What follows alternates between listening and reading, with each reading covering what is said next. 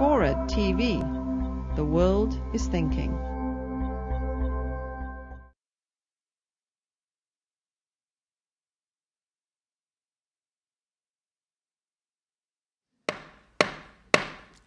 Good evening and welcome to our Commonwealth Club Silicon Valley program brought to you from the Cubberley Theater in Palo Alto.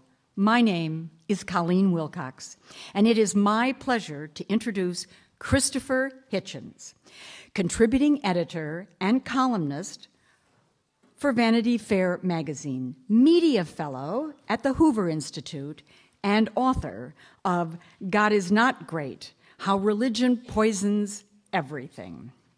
As a foreign correspondent and travel writer, Christopher has written from more than 60 countries on all five continents. He began his journalistic career in 1973 as a magazine staff writer in London and immigrated to the United States in 1981. For 20 years, he wrote a bi weekly column called the Minority Report for The Nation. And he also served as Washington editor and columnist for Harper's Magazine. Christopher continues to write regularly in publications like the Atlantic Monthly and Slate, and has offered, authored several books, including Letters to a Young Contrarian and Why Orwell Matters. On his 58th birthday, Christopher became a U.S. citizen on the steps of the Jefferson Memorial.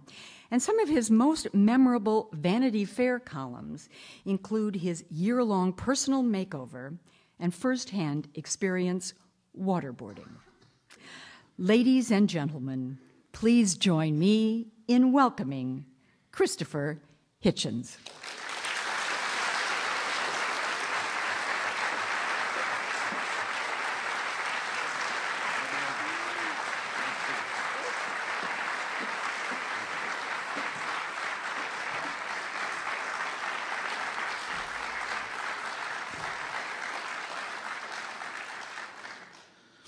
Thank you, Angel, for that suspiciously terse introduction, grudging introduction. Thank you, ladies and gentlemen, uh, brothers and sisters, for coming. Um, I apologize for the spider bite that makes me limp in this cretinous way to the podium, but this is part of the price that one pays for the mid peninsula idyll at this time of year. Um, and I'm glad that the subject uh, of course, I'd like to think that it was the, the speaker, but I would also hope that it was the subject had magnetized you here, unless it is that on such a beautiful evening you don't really have anything. No, that can't possibly be. Even I, spider bitten as I am, I'm not as lame as that. No, look, this is a grave moment, and it's a time to revisit a, a phrase that became a cliche a little while ago in the hands of our last president.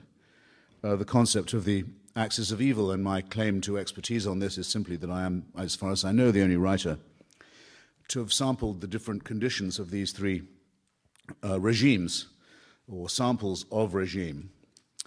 Uh, the, the kind of government, as I, I'll start right out by phrasing it, um, considers the citizen essentially to be the property of the state.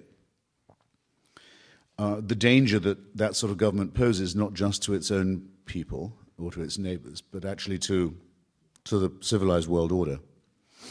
And the discrepant forms in which that takes, sorry, the discrepant forms which that takes, and in which one might have to think about it and possibly even think about um, confronting it. And we only have about an hour, I'm told, together. And you can count on me to do most of the talking, or at least that's what I aim to do, either Q&A or directly addressing you. But what I, what I want to do is take no more than the first half, just to give you an idea of what these systems are like and why you should, why you should mind, and why you should take an interest. Um, I suppose I'll start with, the, with, the, with Iraq, um, which was best described by, has best been captured by, under its old regime form, a brilliant author, an Iraqi English, half Iraqi, half English author called uh, Kanan Makiya, who had to write for a long time under a protective pseudonym of Samir al Khalil and wrote a, a, a, tremendous book called The Republic of Fear, which is the best uh, full word description that one could have of the regime of, of Saddam Hussein. If you can get hold of it, and you can, if you go back to look at the uh, program that Kanan Makiya and Hodding Carter once did for uh, public broadcasting, you can actually get to see one of the most chilling, annihilatingly chilling, actually, videos ever made in the 20th century. It shows the moment at which Saddam Hussein, the actual moment at which Saddam Hussein uh, seized power in Iraq for himself. Um, we don't have that moment in uh, Germany. We don't have that moment in Russia. We don't know the. We know what happened after the Kirov assassination in in Leningrad and the opportunity it gave to Stalin to seize supreme power. We know roughly what happened in the night of the long knives when Adolf Hitler realized that he could massacre every rival of his in not just in German politics but within his own party which is always the crucial thing. But with, with Iraq, we do have the actual moment, and you see it. The, there's the Central Committee of the Ba'ath Party, perhaps 100 people, are sitting in a very formal array in a conference room. And Saddam Hussein is chairing them from a podium, smoking a large cigar. And suddenly, without warning to anyone, in is dragged between two guards and in chains uh, a broken man, a man who's obviously physically and mentally uh, been utterly uh, destroyed. His personality has been evacuated. And uh, prodded a bit, he stumbles through a confession uh, that implicates himself and others um, in a plot to destroy the Iraqi Republic, to remove the regime of the Ba'ath Party and to um, uh, ruin the Iraqi revolution, the, uh, the counter revolution, in other words. He says the, the regime behind it is the Syrian regime. It could have been anybody. It could have been international Zionism. It could have been anything you like, but he actually implicates, in this case, the Syrian, the Syrian Ba'ath Party rivals. Having confessed for himself and having begged to be executed for his crimes, having been reduced to a state of complete abjection, the man then says, The following members of this central committee were with me in this plot, and he begins to read out their names. Slowly. and as this happens, you can see it. The uh, guards move every time a name is mentioned, and they, they grab the member of the Central Committee and lead him out of the door. And after about a dozen of these, the, there's panic. Uh, sheer animal panic starts to spread among those who haven't yet been named, and in the, in the hope that they're not going to be. They start screaming and jumping up and saying, Glory to Saddam Hussein, our leader, all praise to him, uh, the sun, the moon, the stars of Iraq, um, praying that it won't be them who are called next. Nothing Nothing makes any difference. The, the harvest just goes on randomly. They're taken off the chessboard and taken out until half of them are gone. And the rest are just limp and done for and, and almost dying with relief that it wasn't them. Uh, it's the most extraordinary uh, live show of a, of a real, for keeps, political purge that you'll ever see. And then there's the second half uh, which has been seen by much fewer people and was not shown on PBS, uh, where the surviving half are told to go out in the yard and are given guns and are told to shoot the convicted half. Now they're in the plot. Now they're, now they are cemented to the leadership. Now, Kanan Makiya in his book says correctly, he says Hitler wouldn't have thought of that. Stalin didn't even think of that, and he thought about these things a lot about how to get mem- one member of the Central Committee to betray another member and keep them all guessing so that you're the ultimate beneficiary. But, but this is that added little touch of sadomasochistic genius. This is the adding of the Godfather and the Soprano um, to the mixture of Nazism and Stalinism that was, in fact, the birth of Ba'athist ideology to begin with, in case you don't know or haven't studied it. The Iraqi Ba'ath Socialist Party was modeled in large part on admiration for European National Socialist and fascist movements hoped to emulate them, especially in their nationalism against the West.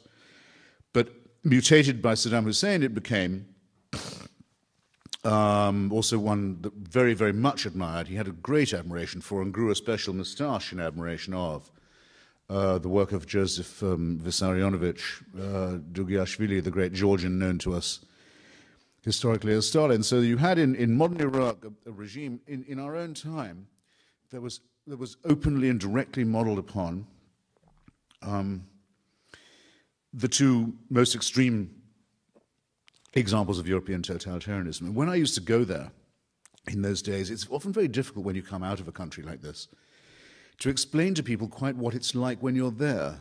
Um, the atmosphere of terror, the, the look that comes into people's eyes when you mention the name of the leader, the absolute look of flash of panic. Uh, anything could happen to me now. Um, uh, the person who spills their cup of coffee in the morning on a copy of the party paper that has the leader's picture on it, and everyone in the cafe goes completely quiet. You just desecrated a picture of the leader. The police are on their way now. You've just made the biggest mistake of your life. And it's very likely that your family will go to prison with you. And maybe they'll have to watch you being tortured. And if they do, they'll have to applaud. And if they have to watch you being executed, they'll be later sent a bill for the bullets that were used to be fired into the back of your head and your neck because no one's exempt.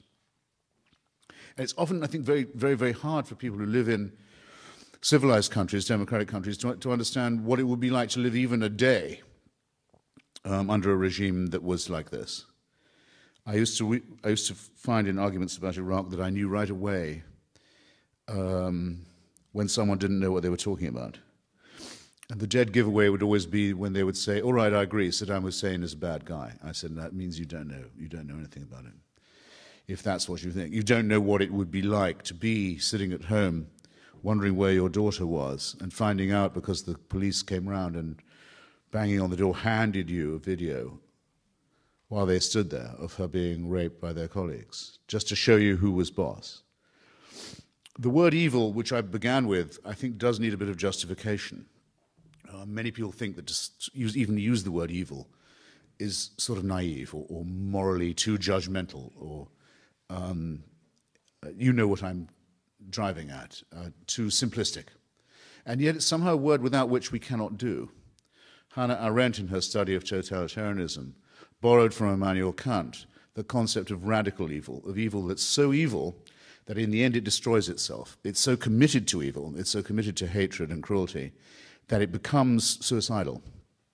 Um, my definition of it is the, uh, the surplus value that's generated by totalitarianism. It, it means you do more violence, more cruelty than you absolutely have to to stay in power. You've already made your point. You've done everything you, you need to do to make people realize that you're in power, but you somehow can't stop. There has to be a, a special appetite. There must be special prisons for rape. There must be special graves, mass graves, just for children. Uh, there must be the desire to see how far you can go. And even if you know this will in the end bring retribution, it's worth it in some sense for its own sake. Maybe that's the only redeeming thing about it. Maybe the irrationality uh, is, the, is the one saving grace of it, but at any rate, it's not a word, it seems, that we can abolish from our vocabulary. If you doubt me, just ask any liberal how they're going to vote at the next election, and they'll always say it's for the lesser evil. Uh, somehow the word is necessary, even in a relativistic term. Um, I haven't started with, with Iraq. Uh, I haven't begun to tell you what it's like. Um, the nearest I can come from personal experience would be, I suppose, uh, being present when a mass grave uh, in the Shia districts of the south was being opened. Um, near Babylon, um, just after the intervention in uh, 2003. And I was there. I'd, I'd, gone with a group of my fellow reporters, and um, the temperature in Iraq at midday around that time goes well above 100, and you have to be coated in sunscreen at all times, and you're coated in sweat anyway. And it gets in your hair and in your clothes and on your face. You're, you're sort of covered in slime, in effect, protective slime. And that's fine until the wind gets up a bit as the mass grave is being excavated, and you find that you're being uh, covered in a coat of powder, grey powder, which is made of people. It's the, the, the filth and the smut of people who've been buried en masse for a long time, are just being dug up and are being now blown around in a, in a grey cloud. And you, if you want to feel dirty, if you want to feel dirtied up by the experience of fascism, try finding that you're 12 hours away from a shower and you can't get dead person out of your hair or off your face. There's nothing you can do about it. You're stuck with it. You're tainted. You're polluted, and you're living in a country, or visiting a country in this case, which is digging itself slowly out of a, a general, a generalized mass grave. So that was Iraq for very nearly um, 40 years. Um, as I say, I've only time for thumbnail sketches uh, this evening. Vignette. Um, North, I wrote a piece from North Korea called uh, Visit to a Small Planet, which is a, line I stole from a, a play of Gore Vidal's. Because it did seem to me as if I had left this planet completely to go on this visit to the northern part of the Korean Peninsula, and that I, it was as if coming back from another, another spatial body altogether. And the article got, I have to say, for myself, uh, a lot of praise, um, a lot of good reviews, and a lot of uh, notice. And every time I got praised for it, I used to feel slightly uh, congealed, slightly nauseated, uh, because I knew that of all the articles I've ever written as a foreign correspondent, it was probably the greatest failure. I had not got near to describing for an American audience what it would be like. By the way, we know where your children go to school.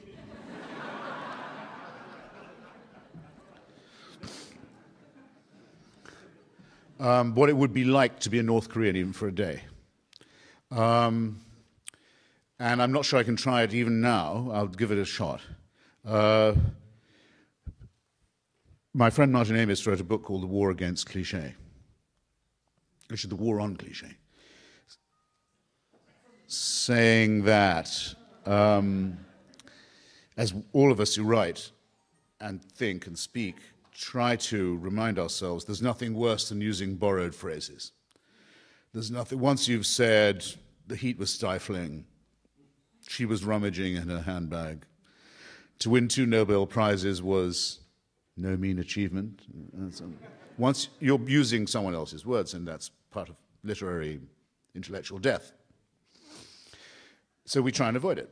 So when I went, I'm reeling back a little here, just to spoodle back. When I went to Czechoslovakia under the old communist regime one day in the uh, 80s, I thought to myself, whatever I do, whatever happens to me in Prague, I'm not going to use the name Kafka. I'm just not going to do it. I won't do it. It's so easy. Everyone else does. I'm not going to. I'll write the first non Kafka mentioning piece.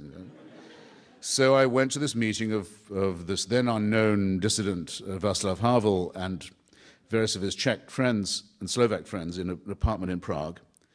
And we thought that no one knew that he had these visitors coming from America. And so, on. but oh, someone must have given us away because it wasn't long before the door fell in and in came police dogs and guys in leather coats and um, carrying heavy electric torches and truncheons and so on, slammed me up against the wall and said, You're under arrest and you've got to come with us. And I said, I thought of saying, I demand to see the ambassador. I said, Well, on what's the charge?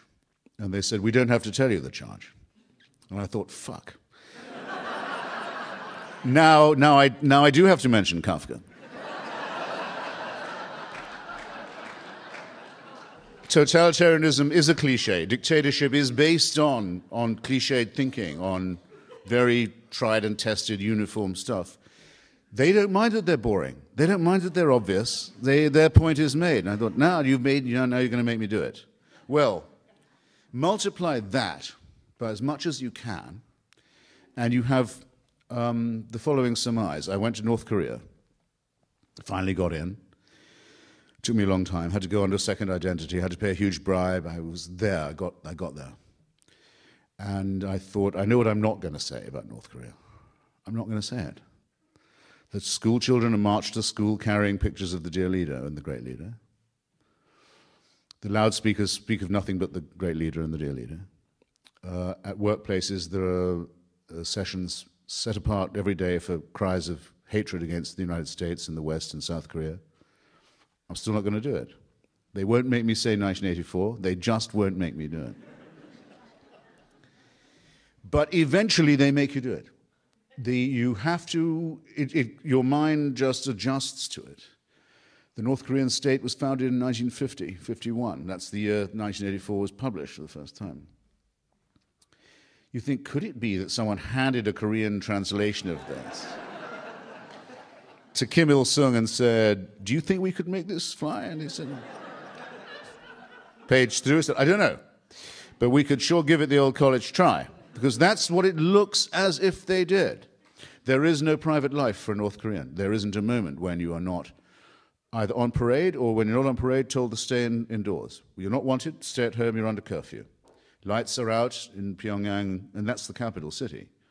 Um, at 8.30, can't go out after that, stay, stay in. There's nothing to watch, there's nothing to see. All television programs, when it's working, are all about the dear leader, as are all operas, uh, all films, um, all concert performances, and all public lectures. There's nothing else to talk about. Um, the, the, the life of the human being, this is what I failed to convey in my article, is completely pointless. There's, there's the concept of, of liberty or humor or irony or happiness or love doesn't exist. You are, you are there simply as a prop for the state. And though it used to be, as with any slave system, that they would feed you in return for your services, uh, that compact broke down a couple of decades ago. Uh, now they don't feed you either. Um, they, they barely clothe you. Um, at Panmunjom, the so-called demilitarized zone, you've seen the word demilitarized zone, haven't you, in the press, even quite recently. Why do they call it demilitarized zone? Words lose their meaning so fast. It's the most militarized zone on the planet. Uh, there are nuclear mines sown in that DMZ. There's a concentration of force and violence on either side of it that is unequaled anywhere. It's the most militarized zone in the world. That's the only place where North Korean and South Korean soldiers meet directly, face to face, staring at each other across the table. They change guard about five or six times a day. The North Koreans naturally put up their best soldiers to stand there, to put the best, bravest, toughest face on North Korea. The best ones they can find are six inches shorter than the South Korean ones now. That's what a famine state is on top of a slave state. We now have millions and millions of North Korean children totally stunted in mind and body who will have to be dealt with at some point, who have been raised to believe that they live in a, a regime that is uh, run by a, a god. And I, here I must just indicate, I was going to do this later, but I'll say it now. There's, there's a thing that it took me ages to notice about reading George Orwell's 1984. I wrote a book about it, I've written many articles about it. It took me a long time to notice something that's so obvious that it's crying to be said. In 1984, it's assumed there's no more religion. There's no church in 1984, not even a tame state church. There's nothing. No one mentions the idea of faith, except in Big Brother. Quite interesting. It's, it's as if it's an entirely secular dictatorship. In North Korea, you might think that was the case, since it has an officially communistic ideology, but it's not. It's the most religious state it's possible to imagine. Um, it's actually two. Uh, it's two people who have been fused into one. Maybe this is reminding you of something. There's the, there's the father, and there's the son. It's one short of a trinity. Um, another way of phrasing it is this um, when the president, our president, writes to Kim Jong il, the son, the dear leader, he doesn't call him Dear Mr. President. He calls him Dear Mr. Secretary. You ever noticed that? Why is that? Because he's not the president of North Korea. He's the head of the Communist Party, the North Korean Workers' Party, and he's the head of the army. He's not head of the state. The head of the state is his father, who's been dead for 15 years. So it's a necrocracy, if you like. or a mausolocracy, or a, a thanatocracy, in which the one has been fused into being with the other, and where both of them are said to have had miraculous births, attended by miraculous uh, phenomena, such as, for example, birds singing in Korean when they were born. So that th- this is the, possibly the most theocratic country as I've ever seen, or that there has ever been, where the only duty of the citizen, starving and stunted and enslaved as he or she may be, is the worship of the leader and of the, of the leader's father. I'm not quite sure how far I've trespassed on my time, and maybe someone would give me a wave. You're so good. Well, I should say a few words about Iran, which is um, the one I've visited most recently, and which is maybe the one that's nearest the front of our minds. The Iranian people um, were converted to Islam not very much longer after the uh, conquest of the Arab world by Islam, but they refused to adopt the Arabic language. And it's a great point of pride to them that Persian culture and the Persian language and Persian literature survived the conversion to Islam. And the conversion to Islam also was, for, them, for most of them, uh, not the Sunni majority uh, form, but the Shia one. So there's a great discrepancy between Iranian society and many other of what we think of as Arab Muslim uh, states and systems. Um, and there are many, many, many discrepant views within the Shia theology about what's the proper role of religion in society or in the state. Should it rule now? Should it claim to govern people in the here and now? Or should it wait until the Messiah, the 12th Imam, comes back? And would it only be then appropriate for religious rule uh, to bring a, about a world of universal justice and uh, vindication.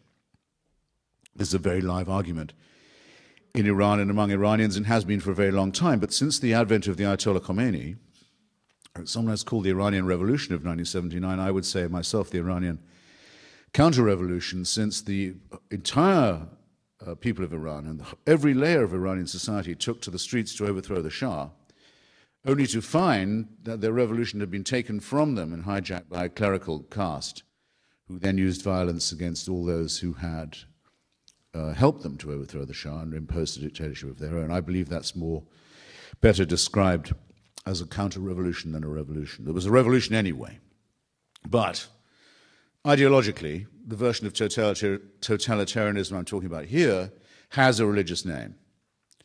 Unlike Iraqi, Iraqi Baathism or Kim Il Sungism, it has a directly mainstream religious name. It's called the Velayat-i Faqih, the, the guardianship of the jurist or the cleric.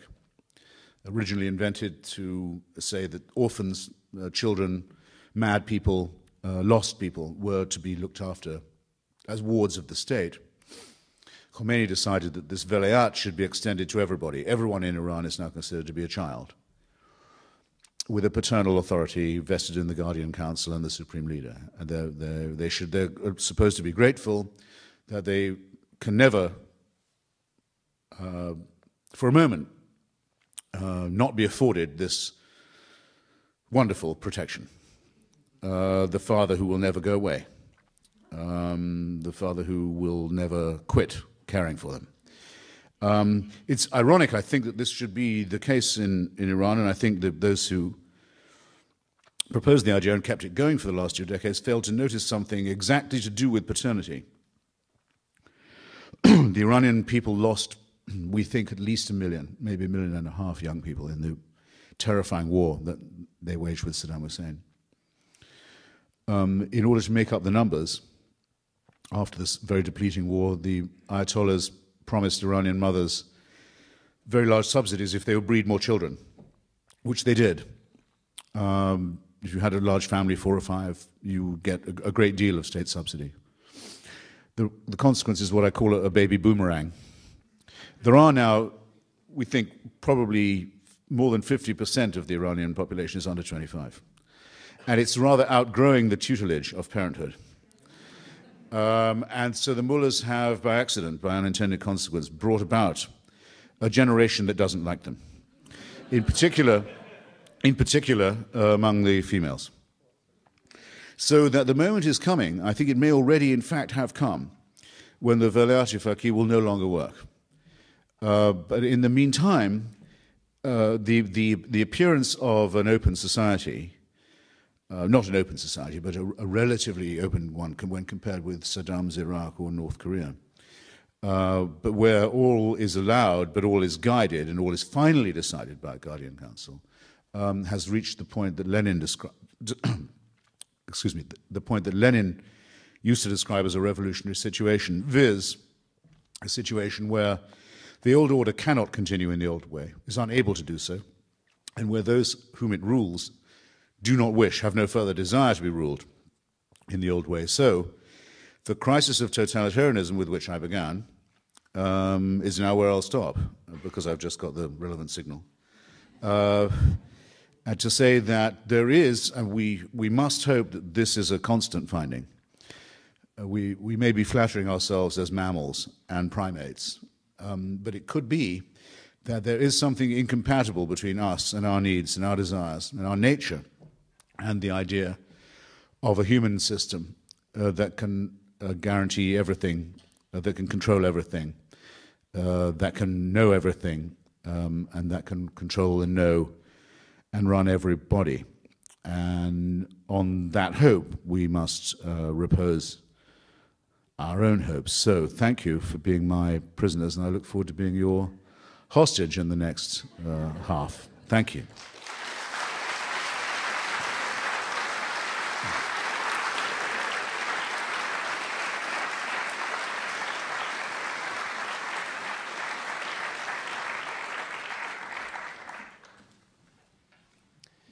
Well, thank you very much, Christopher Hitchens. Uh, good evening. My name is Steven Saum, and I'm the managing editor of Santa Clara Magazine, and I have the privilege of moderating your questions tonight, of which there are many, many, many, um, and I, many of them having to do uh, right with where you left off, Christopher. Uh, are you hopeful about what's happening in Iran right now? Yes. Um, I, I, have a lot of uh, contact with Iran through former students of mine, friends of mine, uh, through the email system. Um, there was a wonderful photograph this week of the Iranian Revolutionary Guards going house to house in Tehran and, and piling up satellite dishes which they'd smashed in the back of their trucks. Lots of luck to them. it's too late. In Iraq, under Saddam Hussein, it was death to possess a satellite dish, and people didn't. It was too risky. For a while, it was death to possess a typewriter because it meant you could type out something twice and pass it on. It worked, in fact. Iran is too big. Um, Tehran is too big. It's filled with, swollen with immigrants who are fleeing the, the countryside. Large illegal population, huge subversive student population. I'm, I'm, delighted to see they keep on trying to smash the satellite dishes. It won't work. I, I, hardly know any Iranian who doesn't have, because of the exile, the diaspora, at least one relative overseas. Most people know how to make an international phone call, even when they try and block the cell phones. Um, the stupider the regime, the more intelligent the people get, and the more humorous. We're going to live to see great things in Iran. And in the meantime, for me, you know, the most wonderful thing is this they've raised a generation of people who've completely seen through religion.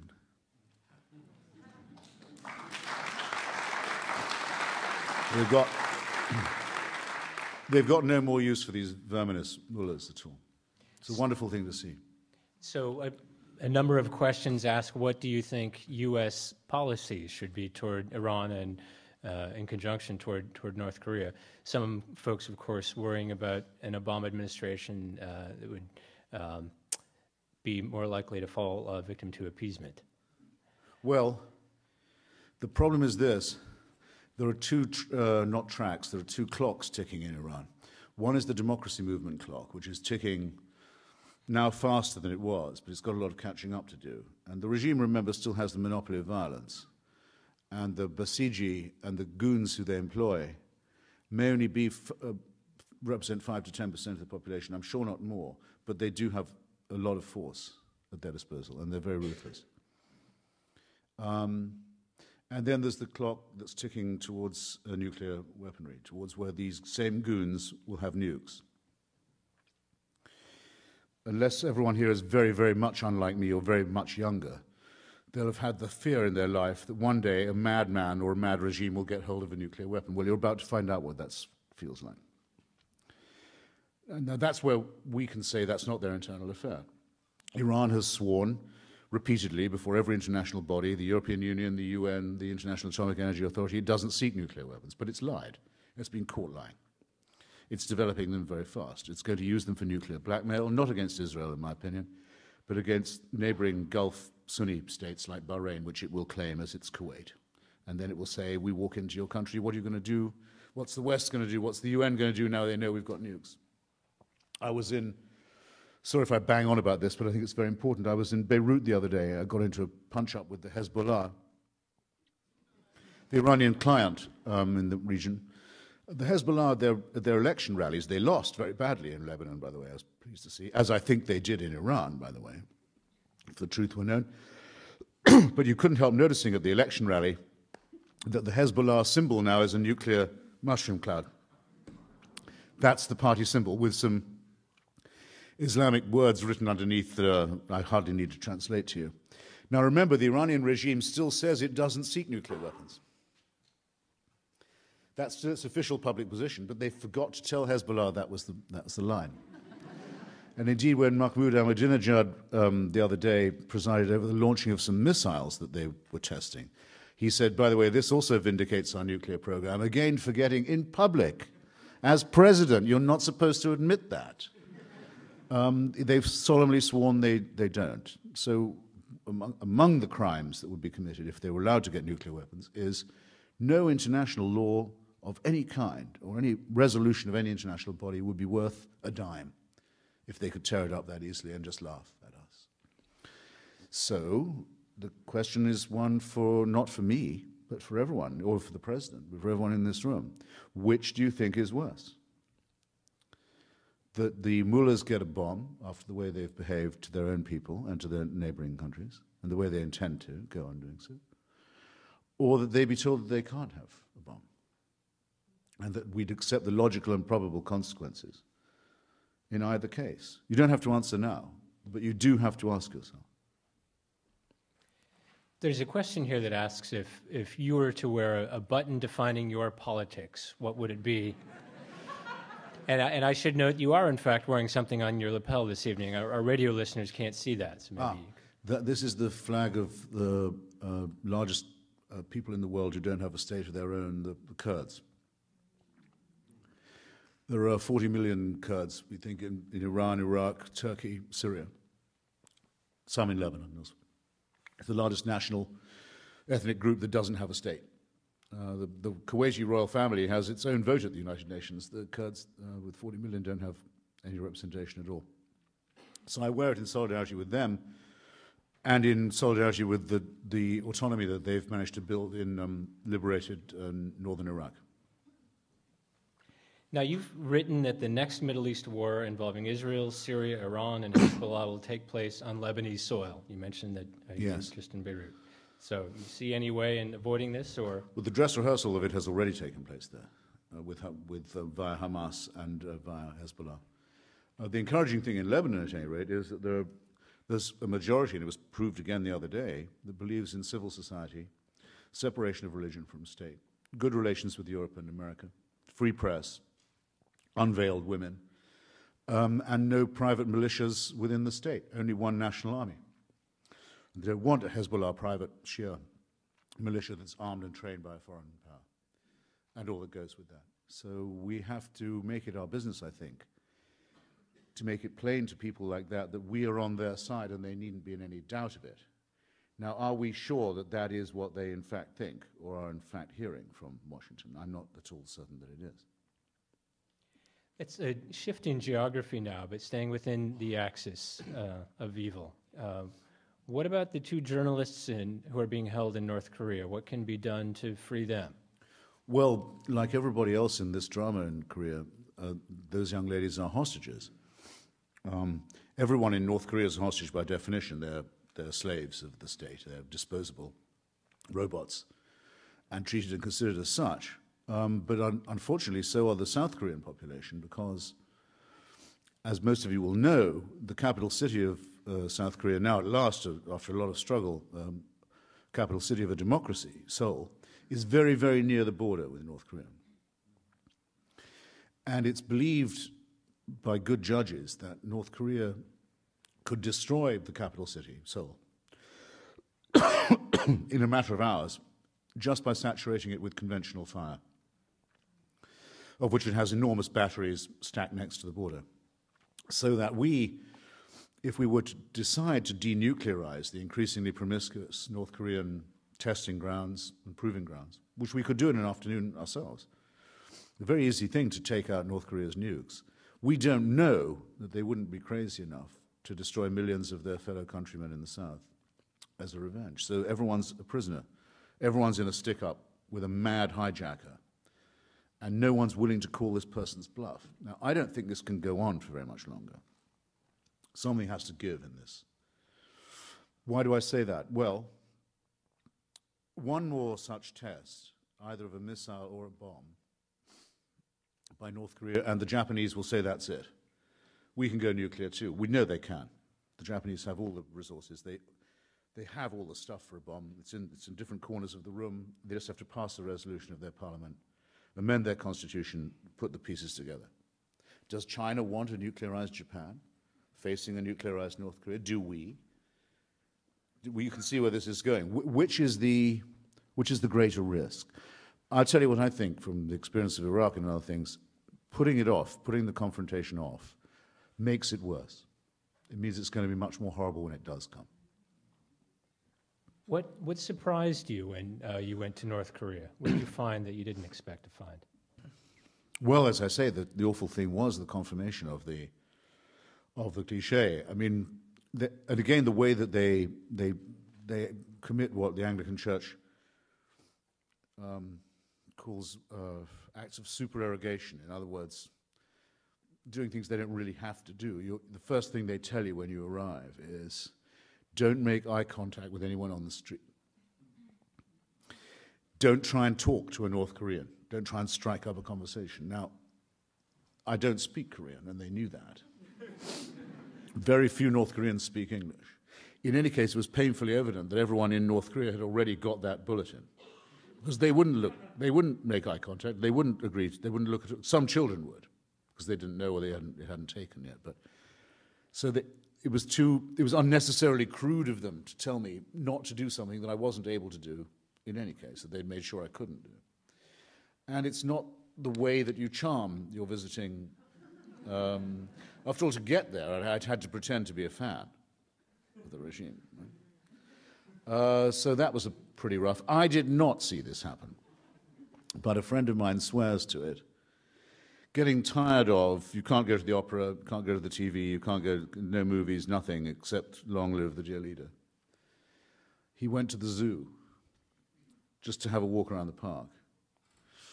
And there were some animals, rather morose, half starved animals, but there they were. And he got to the parrot section, and there was a big parrot looked at him in a sort of beady way. And he looked at the parrot in a rather morose manner. And after a short interval, the, parrot, the parrot opened its beak and said, Long live the dear leader, Kim Il sung. the only comment it felt able to make. I don't know, but I, I tell you what. I didn't see it, I can't swear to it, but I don't disbelieve it. Here's someone who would like to know Wouldn't North Korea be more productive if they fed their people? Well, that's, a, that's, you see, that's a good question because it's a dilemma from which we rescue them. It's what I mean by hostage blackmail. The North Koreans uh, do their tests um, when they're in famine. They say, if you want us to stop testing, we insist that you supply us with uh, 5 million tons of grain. Now, we can always say, we won't do that. You, let, you, you treat your people like this, you starve them to build nukes, you feed them. Use your own bloody grain. Fine. So then it's on our conscience that the people starve to death. They bet, and they've so far bet correctly, we will, A, go back to the talks, having been insulted by the latest test of the bomb and the missile, and we'll give them the grain. And we stencil on the grain the stars and stripes, and it says in Korean, a gift from the people of the United States. So they can't give it out any other way. And they do. And they say, you see, so powerful and beloved is the dear leader that the United States pays him a regular tribute. just out of respect and fear of His Majesty and His wonder. And there's no reason to doubt, or there hasn't until recently been much reason to doubt, that people believe that's true. We're now getting a few more defectors from North Korea. Uh, it's not as hermetic as it used to be. But what they, what they were telling us until recently is yes, everyone does actually believe the state propaganda. What about So the question was, what if they were to feed their people, would they do better? It doesn't arise. We do that for them. And they couldn't do it if they wanted to, because they're, they're the only thing that works after a while in a totalitarian system. This happened in, in, in Iraq too. The only thing that works. You can't put a band aid on the oil rigs.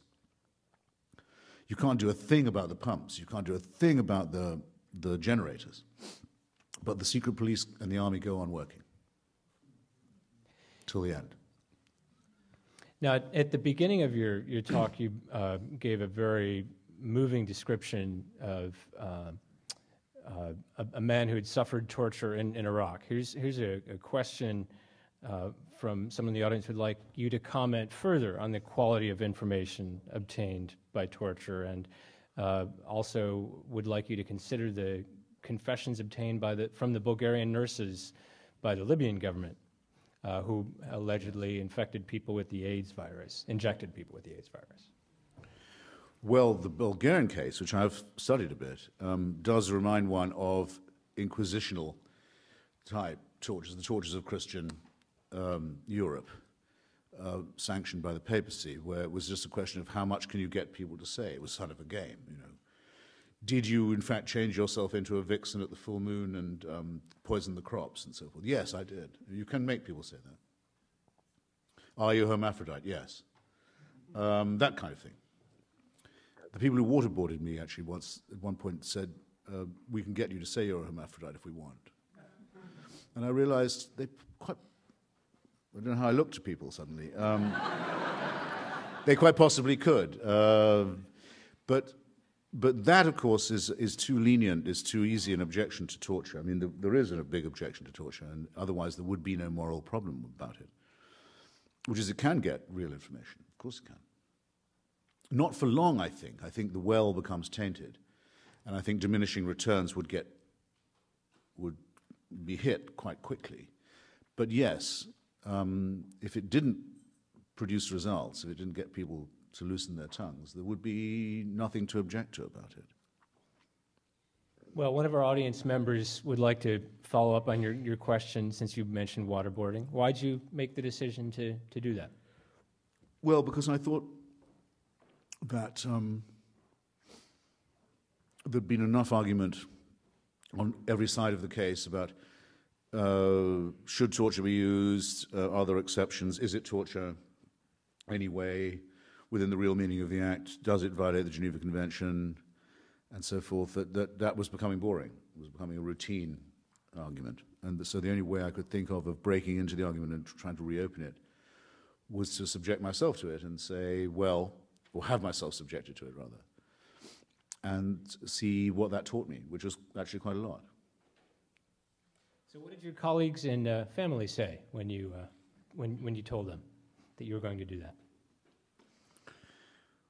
Well, they were slightly. I mean, I have to give you the most uh, truthful answer, um, as I said to my interrogators. Um, um, I, I, owe you the best answer I can give you. Um, I'm slightly surprised to get my letter of the night before saying, just in case, here's what I want done.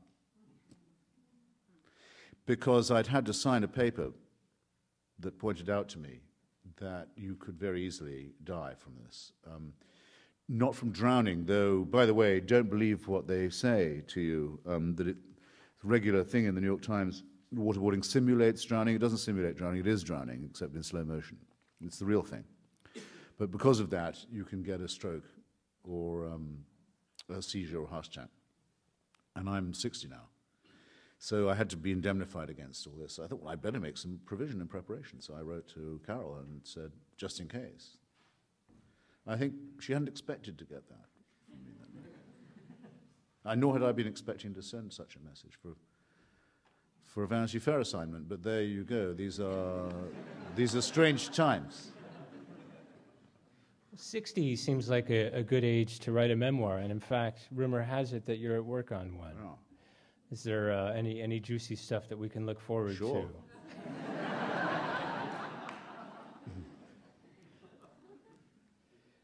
well, you spend a lot of time traveling to exotic places. Nice try. when, when, when's it in the works, by the way? When, when should we uh, look for it's it? In the, Kepler's the, it's in the works, all right. It's the works.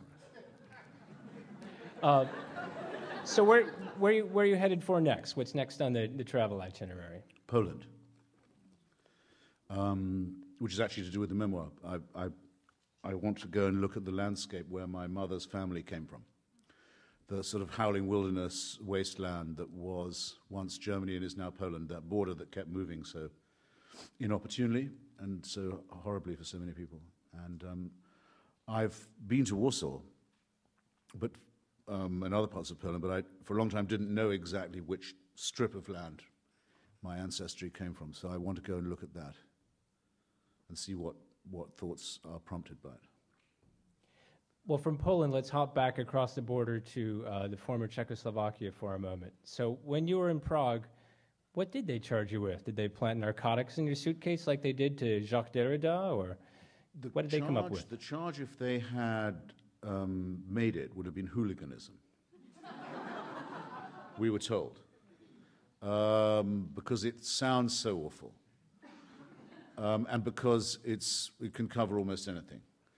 But it, uh, it consisted of attending a meeting in a private apartment um, and bringing printed materials in there and so forth. But we were told um, that that was what we'd get if we, um, if we continued to object. In the end, we were just deported, and deportation stamp put in the passport.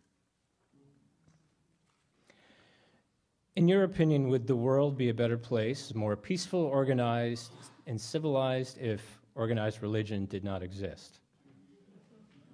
Yeah. bien, bien sûr, it would, yes, uh, it would. And, and, and one audience member wants to know which religion or belief system do you find the least repulsive? Well, no, it's a good question because I do say, and I, I don't just do it to have a provocative subtitle, that religion poisons everything. And people say often when I go and speak or debate on religious sites and campuses and holy territories and so forth. You mean everything? I mean chess, uh, Italian cuisine, and so on. And I say, actually, yes, because it insults us in our deepest um, integrity by saying that we wouldn't know where right and wrong came from if it wasn't for divine permission. And we wouldn't have a meaning to life if it wasn't by supernatural uh, determination. In, the, in, other words, that we would be uh, like the inhabitants of someone like North Korea or Iran, children of, a, of an intolerant and greedy um, and narrow minded uh, deity. So yes, that would spoil everything. But by the way, chess is banned um, by, in, in, Iran where they can ban it. Um, because the whole point about totalitarianism is it abolishes the private life and any private recreation. So yes, I do mean it seriously. But now, for example, my daughter goes to a Quaker school. Do I really say that the Quakers are the same? Well, they make the same mistake, which is that they think that faith is uh, a word that deserves approbation. If I could change one thing about the discourse in this country, just one, it would be we would stop nodding approvingly when people say, I'm a person of faith. Yes. because what are you nodding at? The guy who you know is a glib asshole for saying it in the first place would, even if he was a sincere asshole, would be saying, I hope you like the fact that I'm willing to take an enormous amount of very important stuff completely on trust without any evidence of any kind. I say, I'm not going to admire that. I think that stinks. So, and I'm afraid uh, uh, uh, the Quakers are just as guilty of saying that faith is a, a good thing, whereas in fact it's the most overrated of the virtues, if it's a virtue at all. This may or may not be a related question. Have you ever hiked the Appalachian Trail or been to Argentina? Argentina I've done, and there's a very and there's a very odd bit of the Appalachian Trail near um, the Housatonic River in Connecticut, where I had a brief stroll um, on the 4th of July 1977 until the mood for exercise left me again. But Argentina, Argentina, Argentina changed my life. Argentina, a big deal, Argentina. How so? Well, I was there during the, what's now called historically the Dirty War. Um, the, the, period where the death squads, the Escuadrones de la, de la, Muerte, were roaming the streets of Buenos Aires and picking people up, and the word desaparecido came into our language, the disappeared, using the disappeared as a verb. He's been disappeared, or she's been disappeared. And watching that and um, uh, interviewing some of the people who'd been victims of it and then meeting some of the people who'd been doing it was a huge thing for me. And, um, well, one, when you say, why did it change my life? Well, the article I wrote about it for the New Statesman, my old socialist journal in London, made Victor Navasky of The Nation write to me and say, did I want to have a job at The Nation in New York? And I said, yes. So it changed my life in that way. And then the other way it changed my life was when Mrs. Thatcher sent a fleet to bombard and overthrow these scumbags. I was on her side, which I never expected to be. but um, where would history be without ironies, and why would it be worth studying? Well, speaking of history, you've written a pretty compelling article recently calling for the return of the Elgin marbles. Elgin. El- Elgin marbles. They're not Tanqueray. They're not even Gordon's. now, Well- you'll, now you'll remember. We'll get some other questions about drink later. So, do you think it'll happen in your lifetime? Yes. I'm sure it will. Now, the other day, just after, not just after, not, not of course because, but just the Guardian newspaper in London, very well read paper, one of the last not to have gone tabloid, had a poll. Um, it very much surprised me. It was almost Saddam Hussein like. Should they go back to Athens or not? 97% said yes. I was surprised by that. I knew the majority had been going up. For most people, the argument's completely over. For the obvious reason that um, if, say, uh, the panel of the Mona Lisa had been sawn in half during the Napoleonic Wars, which it could easily have been, many artworks were, and one bit of it was in, the, in St. Petersburg, say, and one in Lisbon, there'd be a very big demand, I think, now, to see what they'd look like if they were put together. Well, this applies in, immeasurably more intensely to the sculpture of Phidias, which is a, an architectural narrative um, and a poetic one rendered in marble uh, with figures interacting with each other and telling a story. It's, it makes no sense at all that this should be amputated or partitioned um, and the other half imprisoned in a colonial museum in Bloomsbury. We have a number of questions, curiously enough, about your, your favorite things. Um, one wants to know things you can't live without when traveling. And one person, one well informed audience member, of course, wants to know what your favorite whiskey is. Well, I don't see what the difference between the two questions.